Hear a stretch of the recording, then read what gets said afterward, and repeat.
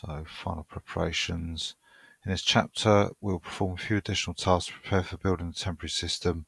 We'll create a set of directories in LFS, add an unprivileged user, and explain the units of time SBUs to measure how long it takes to build the packages.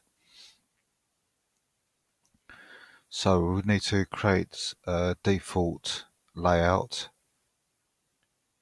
So this is the start of the building of the actual Linux from scratch system. So if we look at the layout at the moment, all we've got is the, well, the default lost and found directory that gets created when you uh, create the file system, an ext file system, and the sources directory we've just created and downloaded all the packages in. These commands here will start to create some of the more recognizable um, directories as you can see we've got an etc, a user and a var directory there now with some subdirectories off of those as well. Um, and that's what the remainder of these commands do. So when putting these commands in, it's better to do one at a time, just so that you can execute that one command and observe any errors or output that may come at the end of that command. If you just copy everything in these grey boxes, you might be doing several commands at once and saving a bit of time, but there's a very good chance you may miss an error or some message that's important um, as it scrolls off the screen. So we've created a tools directory here to keep some of the temporary programs that we're going to be creating um, and those programs are temporary because we'll be using those tools to create the final system. So next we're going to add an LFS user and the reason for this is that the initial build of the temporary tools needs to be done in the host system and it would be risky to build these as the root in case we affect the host system in some way. So we'll add the LFS group and then add the LFS user and it will use that LFS group as well. Uh, there's explanations there about that command as there is with every command in Linux from scratch, there's always an explanation. Set a password for LFS so we can log in as it. And then grant LFS full access to all the directories under LFS, making LFS the owner. So we do that. And that command there. It says some host systems the following SU command does not complete properly. Um, I have had this happen on the odd occasion with some other distributions. As it says there, I, this is what I've found that the FG command will fix the issue. For some reason, the command runs and then sits in the background. And as I'd expect, Gentoo doesn't behave like that. So again, it's another reason why I recommend Gentoo as a host. Um, so yeah, we've um, become the LFS user now. So we're going to set up an environment for the LF user, a build environment. So we create a profile setting, a profile file, and a bash RC file with some settings in it. And again, all these settings are explained here, what they do, what their purposes are. Uh, it says several commercial distributions add an undocumented instantiation of etc bash.bashrc to the initialization of bash and it can affect the environment. So you don't need to do this for Gentoo, but I'll run it because it will prove a point. If there are any changes that need to be done, and I need to do this as a root user as well, so I'll just come back out paste that in.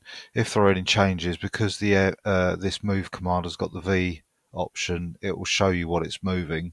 So by running this as a root on Gentoo, you can see there was no output, so there's no changes made. So that, that proves that uh, Gentoo isn't affected by this problem. So I'll become LFS again. For many modern systems with multiple processors or cores, the compilation time for packages can be reduced by performing a parallel make by telling the make program how many processors are available. So as it says that uh, an i9 3900 has uh, 32 cores, logical cores in total, and it would be advisable to obviously build using as many of those cores as possible so we can run make minus J32 or for example this machine's got 16 logical cores. Um, alternatively, rather than typing that in every time, we can export the make flags variable and it means that every time make is run, it will recognize that make flags has been set and it will use that setting to compile that many jobs. And we can make that permanent, as it says here, by running this command here, and it will actually add it to the .bashrc um, startup file. And if we source the bash profile, all these variables should be loaded and activated. So if I do set we can see if we scroll past all this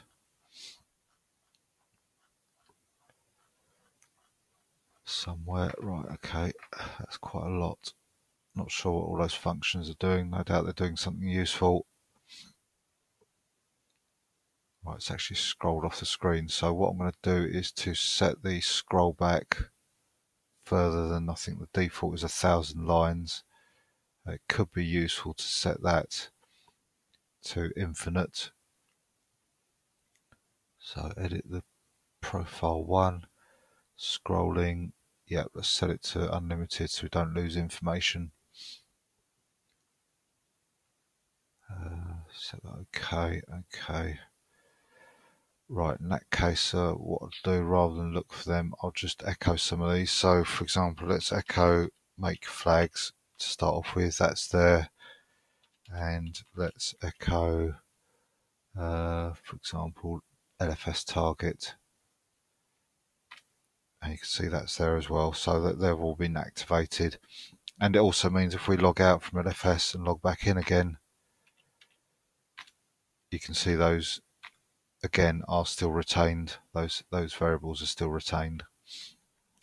SBUs, um, effectively, to summarize what it says here, if we time how long it takes the first package to run, all the SBUs are based off that. So if you subsequently see a package that takes two SBUs, it means it takes twice as long as the first package. However, it's not always that simple. Um, SBUs are affected by many variables. It says there. Um, oh no, sorry, that's about if there are errors um, yes, affected by many variables, how much memory we've got, whether the compile actually had to uh, be swapped to disk because it ran out of memory, um, the performance of the disk itself, whether it's an SSD or a, a spinning hard disk, speed of the memory, um, I/O latencies, everything you can think about will be affecting the SBUs, so they're not very reliable. Even down to I think something I mentioned before the internal caches on the CPU. If you, for example, timed the compilation of a couple of packages, one did take twice as long as another one on a modern PC. Uh, I could almost guarantee if you ran it on an older PC, say 10 or 15 years old, that it would take three or four times longer purely because those caches are either reduced in size on, on board the CPU or the off-board caches are smaller, so there's less chance that the um, processing can be accelerated by by caches. Even the set size and so on, it gets it can get very technical. Um, so the SBUs must be taken with a pinch of salt. I, I, would probably think a better way of using SBUs these days would be to have just three categories, um, say long, medium, and short, for example, in terms of duration. So this package takes a long time to compile, i.e., you could expect to wait maybe half an hour or hours for it to complete. A medium one where it would be no more than half an hour, say 10 minutes to half an hour, and a short one where it's no more than, say, five minutes, something like that. I think that would be probably be more, more of a, a good guide. Um, however, it is what it is. Um, even using a, an AMD versus an Intel may may produce different results as well, uh, even though the, the CPUs are apparently equivalent. It does also say that um, failures uh, can occur uh, when compiling in parallel. Sometimes the uh, dependencies of the packages that or the programs that compiled doesn't resolve accurately for some reason. Um, and in that case, it's just best, best to rerun the package with one job. Um, and it should run then. And if it's still errors, at least you'll see the error straight away rather than, rather than buried in amongst many other jobs that have been running in parallel.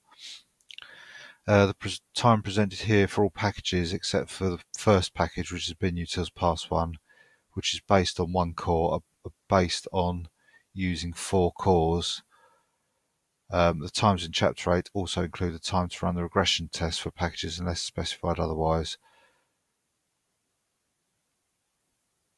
So yeah, see this gets confusing as well because they've based the SBU for the first package using one core and then all the remaining packages are based on using four cores. And then the times in chapter 8 should also include the time it takes to run the, the tests. Um, so if, for example, binutils ran on, or binutils pass one took, say, 10 minutes, it's saying that a subsequent build would be based on four cores, um, and therefore it would be 2.5 minutes effectively. Um, and again, it's not always that simple because every package doesn't use all cores all at once. There are there's a lot of time where just one job's running because no other jobs can run at the same time because there are no further parallel dependencies that could run, um, and that can skew the timings as well. Uh, so yeah, like I say, take them with a pinch of salt. Just use them as a very rough guide, um, and even then question how how accurate that rough guide is. About the test suites, um, as it says, it's pointless to run the test suites in chapter 5 and 6. They may run, they may not do, but you won't know whether that's a good thing or not because the host system is still being relied on. It's not until we get to chapter um, 8, I think it is, where we're building the final system and we're building the final system using tools we've already built ourselves. We're not reliant on the host system uh, that we can start to uh, take some sort of uh, attention or make some sort of, sort of attention to the results of tests and how accurate they are.